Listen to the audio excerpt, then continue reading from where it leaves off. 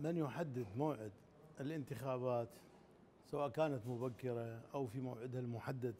هو بالتأكيد رئيس الوزراء وبالاتفاق مع رئيس الجمهورية وفق المادة 64 من الدستور. وأيضا أكدها هذا قانون الانتخابات آه، رقم 19 لسنة 2020 هاي من الناحية الإدارية لكن من الناحية الفنية من هو مسؤول عن تهيئة وتنظيم وتعجيل آلية الانتخابات المبكرة هي المفوضية المستقلة للانتخابات.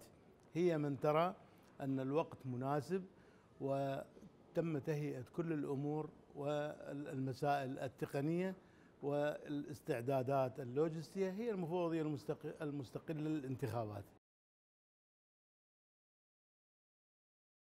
إذا ما عملنا جاهدين وبشكل قوي وهذا كلام من أحد الأخوة في المفوضية أن يجب أن نصل إلى 15 في الشهر 11 قد نستطيع إجراء هذه الانتخابات. وبالتالي ماذا تبقي حقيقة للعام القادم أو نهاية الدورة الحالية؟ لم يتبقى الشيء الكثير في هذه القضية.